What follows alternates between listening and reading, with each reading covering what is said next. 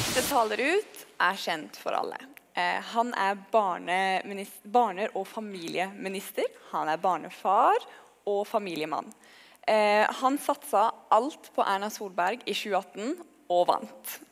Nå er han partileder for KrF og står i tidenes mest spennende valgkamp for eget parti. Eh, som jeg nevnte, så ville nok helst vår forrige taler vært i Amerika akkurat nå. Og hvis det er sånn, så ville nok vår neste taler helst nå vært ute på jakt. Eh, men det er nok ikke helt sesongen for jakt nå. Det er eh, en sesong for eh, velgerjakt.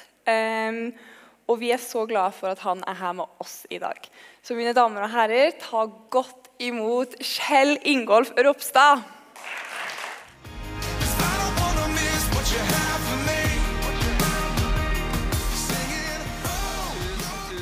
Tusen, takk. Takk for en kjekk og god velkomst. Det er så kjekt å se folk igjen. Jeg kjenner Enten det er å samles til viktige temaer som i dag, eller det er bare til gudstjeneste og møter en. Det er fantastisk å kunne møtes. Nå er det vel kanskje sånn at eh, de aller fleste som er her, er fra andre steder enn Oslo. Og godt er det, vil kanskje noen si. Eh, Det var som dattera mi. Hun, hun sa det egentlig ganske godt her for noen, eh, noen, for en stund siden. Eh, Hun var vel ca. tre år gammel. Hadde, må kanskje først si at Yndlingshistorien hos sin i barnebibelen det er Jonah i fisken. Så det var en periode, det var bare det det gikk i. Det var det eneste jeg fikk lov å lese. Men eh, vi hadde vært oppe på Ekeberg, og for dere som ikke er kjent i Oslo, så er det jo den åsen her borte. Og så på bussen på vei ned igjen så får en en fantastisk utsikt over Oslo. Og så spør kona mi, Anna Louisa, da Hva heter den byen med bor i? Og så kommer det raskt fra Anna Louisa. Ninive. Eh, og, og noen, noen ville kanskje brukt den beskrivelsen. Eh, jeg kan avkrefte at det er så ille. Det er en veldig, veldig flott by. Men spøk til side. Jeg har fått lov å reise veldig mye den siste tida. Endelig. Jeg har fått lov å møte folk. Og på reisene så møter jeg helt vanlige foreldre, helt vanlige familier. Familier som er veldig ulike i størrelse, sammensetning. Det er i veldig forskjellige livssituasjoner. Og de ønsker å ta forskjellige valg. For de er helt vanlige. Det er en situasjon som passer litt annerledes. Men for Arbeiderpartiet, som nå påstår at nå er det vanlige folks tur, så er det ikke sånn for familiene. De er ikke vanlige. For mens vi i KrF kjemper for mer valgfrihet og fleksibilitet, så kjemper Arbeiderpartiet for å kunne overstyre enda mer. Jeg vet ikke om dere har fulgt disse debattene jeg får lov å være i. Men Arbeiderpartiet beskylder at de som bruker kontantstøtte, de bruker vel sånn om å gå hjemme. Eller å holde ungene vekk fra barnehagen. Altså, gå hjemme. Jeg har selv eh, snart en toåring, og det å springe etter en ettåring, det er virkelig hardt arbeid, og ikke minst viktig arbeid. Ja, du kan godt klappe for det. De må legge vekk de ideologiske skylappene sine og begynne å tenke på hva er best for ungene. Hva er best for familiene. Og For KrF så er familiene et mål i seg sjøl. Familiene er den mest grunnleggende byggesteinen i samfunnet. Og Derfor så må også foreldrene ha mulighet til å kunne velge det som er best for seg og for sine unge. De må kunne ta sine egne valg. For det er ikke sånn at det er Jonas Gahr Støre som vet hva som passer best i enhver livssituasjon. Med all ydmykhet det er heller ikke sånn at det er Kjell Ingolf Ropstad som vet best hva som passer enhver familie. Nei, folkens, det er familiene.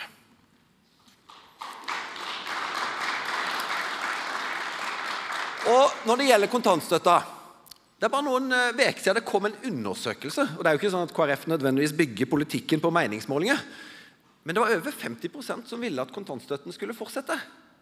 Vanlige folk ønsker valgfrihet og velger mellom trygge, gode barnehager eller kontantstøtte. Det er ordninger som gir valgfrihet. Arbeiderpartiet, SV og skuffende nok også partiet Høyre ønsker ikke å lytte til dette. De skal fjerne kontantstøtta. Ha alle inn i barnehage så raskt som mulig. Og jeg tror det er fordi at For venstresida er ikke familiene et mål i seg sjøl. Målet med familiene det er å oppnå andre mål. F.eks. å få foreldre rett ut i jobb, eller alle inn i statlig omsorg. Jeg og KrF vi kommer til å fortsette å kjempe for valgfrihet for familiene. beholde kontantstøtta, en mer fleksibel permisjonsordning, sånn at mødre som har behov for å ha litt mer tid hjemme med babyen sin, skal få lov til å få det.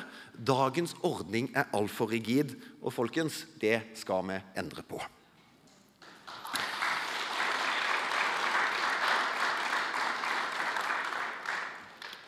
Familien er ufattelig viktig for å gi ungene trygghet og en trygg oppvekst.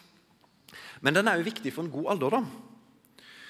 Og selv om vi i Norge skal få enda bedre og flere sykehjemsplasser, bedre bemanning, så er det jo sånn at vi vet at for mange så er det de nærmeste som betyr mest, òg når en begynner å dra på årene. For noen år siden så møtte jeg Kristin. Hun har flytta mora si hjem til seg. Jeg tror hun var 95 ca. Men både Kristin og mora var ufattelig takknemlige for at jeg kunne gjøre det sånn. Som Kristin sa, det gir meg så enormt mye. Og jeg ser at mamma bare sprudler. Det betyr enormt mye. Det er livskvalitet. Men Kristin sa òg helt ærlig men jeg skal innrømme at jeg er sliten. Jeg skulle hatt litt avlasting, litt hjelp. Hun kombinerte en vanlig jobb med en ganske tung, men meningsfull omsorg for si mamma. De som stender rundt, er pårørende, er nærmeste til eldre. De gjør en fantastisk innsats. Den må verdsettes mer. Derfor vil KrF vi vil innføre en pårørendestøtte som gir familiemedlemmer eller nære som tar av sine eldre, 7500 kroner i måneden. Den skal vise at vi verdsetter den uendelig viktige jobben som gjøres. Men den skal også muliggjøre, sånn som for Kristin, til å kunne få litt avlasting eller gå litt ned i stilling hvis du ønsker det.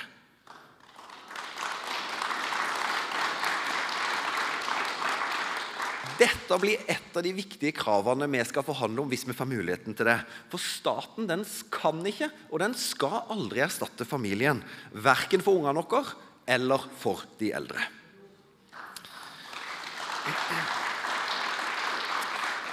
Det er mange av disse reisene mine som gjør inntrykk. Og Første gang jeg besøkte Israel, det var i 2008. Et land med en fantastisk rik historie, og helt unik historie. Men òg et enormt høyteknologisk og innovativt næringsliv.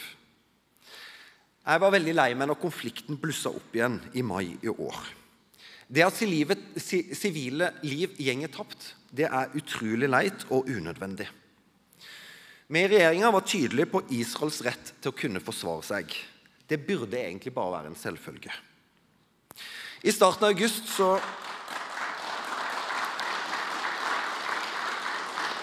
I starten av august så var jeg på besøk hos Det mosaiske trossamfunnet her i Oslo. Der møtte jeg to engasjerte og kloke 20-åringer. De fortalte meg hvordan det var å være ung jøde i dag. Hvordan det var å reise rundt i norske skoler og fortelle om jødedommen. Målet var å bygge opp kunnskapen hos elevene og bryte ned fordommene. Dette var en del av det arbeidet som de får tilskudd til gjennom det arbeidet regjeringa har satt i gang for å hindre antisemittisme. Et arbeid der KrF har stått i fronten i år etter år. Samtidig er det dessverre sånn vi kan ikke klappe oss på skuldra og slå oss til ro. Antisemittisme er fortsatt en stor utfordring, òg her i Norge. Det vitner bare de fysiske sperringene med bevæpna vakter rundt Det mosaiske trossamfunn. Antisemittisme det var jo noe som jeg tok opp når jeg hadde lunsj med den israelske ambassadøren tidligere denne måneden. Vi snakka jo om boikottpolitikken som deler av venstresida stender for. Det er svært alvorlig, og den bidrar jo dessverre til å legitimere det å behandle den eneste jødiske staten i verden annerledes enn andre. Jeg er redd for at akkurat det igjen kan føre til at folk som er helt andre og mer alvorlig tankegods, opplever at det er greit å snakke om jøde eller behandle jøde på måter som er antisemittistiske og farlige. Og Derfor skal dere iallfall vite at denne regjeringa stender for en helt annen politikk er det motsatte av en boikottpolitikk. Under denne regjeringa er handelen og samarbeidet med Israel økt. Og Senest i budsjettet for i år så har vi styrka innovasjonssamarbeidet mellom Israel og Norge. Det er jeg stolt av. Og folkens, derfor må jeg jo KrF få lov å fortsette i regjering.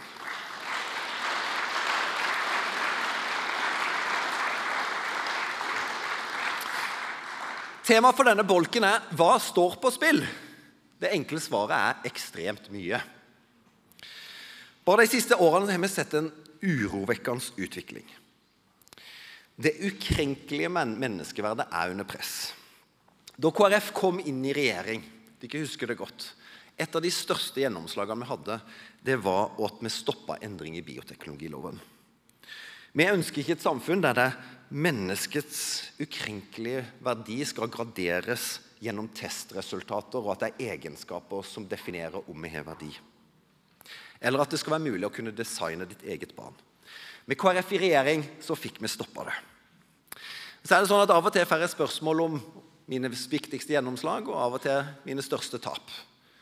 Det største tapet for menneskeverdet det var når Frp gikk ut av regjering og valgte å inngå et samarbeid med Arbeiderpartiet, SV, Rødt og MDG og gikk inn for radikale endringer i bioteknologiloven. Dessverre så valgte Stortinget å si at vi ønsker tidlig ultralyd, screening, testing av alle ufødte for å finne ut av egenskaper. Og vi vet andre land som har gjort det, konsekvensene av det. Det fødes knapt barn med Downs syndrom. Det åpnes for eggdonasjon. Barnets opphav blir mindre klart. Kvinner vil kunne oppleve et press for eggdonasjon for å hjelpe andre. Og Jeg frykter jo at dette er første steget på vei mot surrogati. Skrankene er borte. Men dette er en utvikling som KrF vil kjempe mot. Jeg skulle bare ønske at vi sto felles på ikke-sosialistisk side for å gjøre nettopp det. Men denne våren så har det òg vært flere urovekkende vedtak på landsmøtene til partiene. Verdiene og rettighetene til det ufødte liv de utfordres. Fire av fem partier på rød-grønn side vil gjøre radikale utvidelser i abortloven. Aller lengst går jo SV, som vil gå helt til levedyktighet. Det er veldig radikalt. Med dagens teknologi så vet vi at vi kan redde barn ned i veke 23. I andre land så har de redda barn enda tidligere. Og vi vet at teknologien den bare går fortere og fortere, og kanskje vi kan redde premature, for tidlig fødte barn enda tidligere. Derfor er Rødt, MDG, Arbeiderpartiet, SV sine vedtak totalt uforståelig for KrF.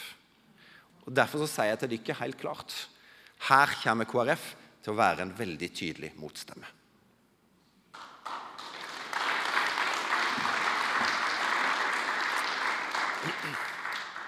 Et av mine aller største politiske forbilder det er William Wilberforce. Jeg elsker å snakke om William Wilberforce. Han ble valgt inn i det britiske parlamentet for over 200 år siden. Midt i 20-årene. Perfekt alder å bli valgt inn i parlamentet på. William Wilberforce han ble kristen. Det kristne menneskesynet utfordrer han fordi det er så radikalt. Alle mennesker har den samme verdien. Punktum. Punktum. Fantastisk, men radikalt. Men William han kjente på at det at han ble kristen, det måtte jo gjøre noe med han, fordi det var jo viktigere at folk traff Jesus. Det er litt vanskelig her å stå som KrF-leder og si noe annet. Det viktigste er fortsatt at folk treffer Jesus, selv om akkurat i disse dager så skulle jeg gjerne snakke litt om KrF òg. Men han sto i utfordringa skal jeg drive med politikk, eller skal jeg bruke tida mi på å evangelisere. Dere kjenner kanskje historien. Vennene hans sine var kloke og sa You can do both. Du kan gjøre begge deler. Du kan være en kristen i politikken. Og menneskeverdet, menneskesynet, det gjorde at William Wilberforce år etter år i parlamentet fremma forslag om å forby slaveriet. I Storbritannia var det jo sånn at Hele økonomien var jo egentlig bygd opp rundt slavehandelen. Og slaveriet levde i beste velgående. Men William Wilberforce han sa at alle mennesker har den samme verdien. Punktum. Han ble håna. Han ble latterliggjort. Jeg husker Det er en film som heter 'Amazing Grace' om, om William Wilberforce. og jeg husker en av scenene, Han ruller ut en sånn rull der de har skrevet alle navnene. så jeg skulle bare gjort i midtgangen her. Alle navnene på jeg tror de som var blitt solgt det siste året. Og Så begynte han å snakke om disse menneskene. Og så kommer det en hånlig stemme fra parlamentet. Menneske? Et utrolig sterkt øyeblikk. Ja, selvfølgelig er det menneske. Hvert menneske har menneskeverd. William Wilberforce han sto imot alt hånet, alle som sa at han var dum, eller hva de enn brukte av uttrykk. Og rett før William Wilberforce døde, så ble slaveriet forbudt. Fantastisk. Men fortsatt så er det sånn Eller faktisk er det flere slaver i verden i dag enn noen gang. Det er unge jenter som blir solgt som sexslaver. Det er barn som jobber i fabrikker. Det er mennesker som jobber her, enten på gata eller i svart arbeid. Det er brutalt. Det er en stor urettferdighet. Og Derfor har KrF alltid kjempa mot slaveri. Vi har kjempa for menneskeverdet. Urettferdigheten er fortsatt stor. Og Derfor har vi brukt faktisk sånn at vi laga et eget program innen bistand til å bekjempe vår tids slaveri. Vår tids slaveri. Og vi har prioritert utdanning, vi har prioritert helse, og vi har prioritert å skape jobber. For det å skape jobber er veien ut av fattigdom, enten du er i Norge eller du er internasjonalt. Ansvaret vårt det stopper ikke med svenskegrensa. Vi har blitt gitt enormt mye. Det gir oss òg et stort ansvar. Og I forrige uke så fikk vi òg en nedslående klimarapport. Den negative utviklinga fortsetter. Da må vi gjøre mer. Ja, Konsekvensene de kommer til å bli ille her hjemme. Jeg elsker å gå på ski. Jeg er litt bekymra for om det er like mye snø når mine unger skal bli gamle. Men folkens, det er ikke det det handler om. Det handler om mennesker. De aller fattigste som knapt har bidratt noen ting, det er de som vil bli ramma hardest. Når avlingene slår feil, hvis fisken ikke er der, de får ikke mat på bordet, hvis stormene og orkanene blåser ned huset, så har de ikke forsikring. De blir ramma nok en gang.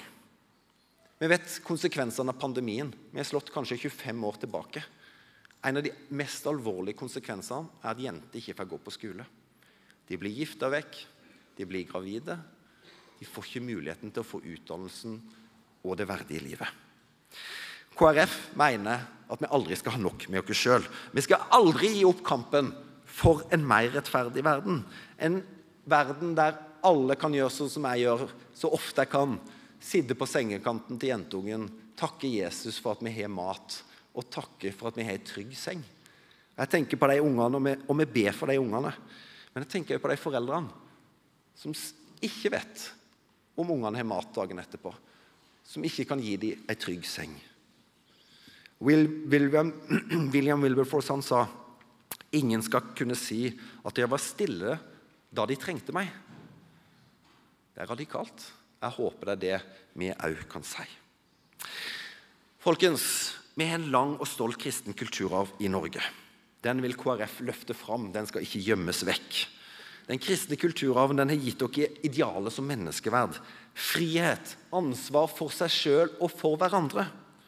Kristendommen den har vært, og den er, helt avgjørende for menneskerettighetene, for demokratiet, for velferdssamfunnet vårt. Jeg er stolt av å være kristen. Og jeg er stolt av å lede et parti som nettopp løfter fram de kristne verdiene. Og når vi gikk inn i regjering i 2019, så var det viktig å få ansvar for tros- og livssynspolitikken. Det handler om viktigheten for enkeltmennesket, men det handler om den samfunnsskapende kraften som kirke, kristne organisasjoner, trossamfunn har i hvert eneste lokalsamfunn rundt om i dette landet. Derfor har vi sikra de gode, stabile støtteordninger. Derfor har vi laga en ny lov som sier at vi lager rammene og så skal trossamfunnene få lov å ta seg av innholdet. Det er ikke politikerne sin jobb. Nå skal jeg avsløre en ting for dere. På de fleste politikkområder så ønsker ethvert parti å være best. Helst ingen konkurranse. Men jeg skulle ønske det var litt konkurranse på dette feltet. For min opplevelse at det egentlig er bare KrF som løfter det. Men jeg skal òg være ærlig og si at min opplevelse er at KrF stender litt alene om å verne om trosfriheten om å løfte fram de kristne verdiene og røttene. For det bekymrer meg òg når jeg tenker på hvilke konsekvenser vi kan få hvis det blir et regjeringsskifte. For dere vet at flere partier på venstresida ønsker å bruke den offentlige støtten som et virkemiddel til å straffe de trossamfunnene som de ikke er enige med. Vet dere hva jeg mener med det? Jo, dersom f.eks. kristne organisasjoner eller andre trossamfunn organiserer seg på en gitt måte fordi de mener det er rett ut ifra sin religiøse overbevisning, ut ifra lærespørsmål, ja, så kan de nektes offentlig støtte. Det mener jeg er feil. De går på bekostning av trosfriheten. Det må være sånn at en har lov til å mene noe annet enn majoriteten. Og Når vi først snakker om eh, støtte til trossamfunn, Hadde Arbeiderpartiet fått gjennomslag og venstresida fått gjennomslag for sitt ønske om å sette et grense på at du måtte ha 500 medlemmer for å få statsstøtte, så hadde tre fjerdedeler av alle trossamfunnene i Norge blitt fratatt støtten. Det er en stor forskjell med KrF i regjering. Jeg ser på klokka at jeg må nærme meg avslutning, men jeg må si litt om friskole. Jeg fikk selv lov å gå på Drottningborg i Grimstad. Det er noe av de beste årene jeg har hatt i livet mitt. Det var en flott skole, gode venner. Vi fikk eh, kristen formidling gjennom andakter og gjennom morgensamlinger. Jeg er glad for at vi har en god offentlig skole i Norge. Vi har styrka den med lærernorm, 3000 flere lærere, spesielt for de yngste elevene. Og Nå ønsker vi å gjøre det med førsteklasse, så de fem-seksåringene som nå trapper rundt og skal begynne på skolen, skal få en bedre overgang. Men dersom foreldrene eller ungene ønsker å velge litt annerledes enn den offentlige skolen, så må de ha en mulighet til det. Og vi vet at venstresida vi vet at venstresida ønsker langt på vei en lokal vetorett for å stoppe skole. Og Istedenfor å snakke om mistillit, så ønsker jeg å snakke om den fantastiske jobben de gjør, valgfriheten de representerer. Så nok et løfte fra min side. Dere skal være trygge på at KrF aldri gir seg i kampen for friskolene.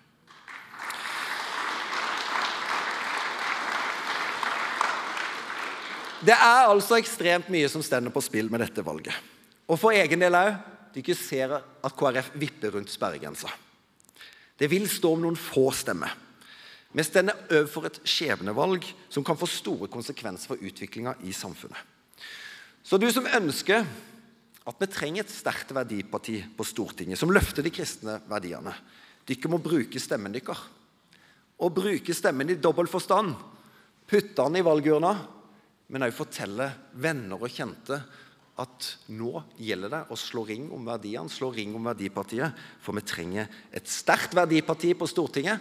Og Jeg er stolt av mye som KrF er gjennom, men vi har masse igjen. Og vi må vinne dette valget, folkens. Tusen, tusen takk for oppmerksomheten.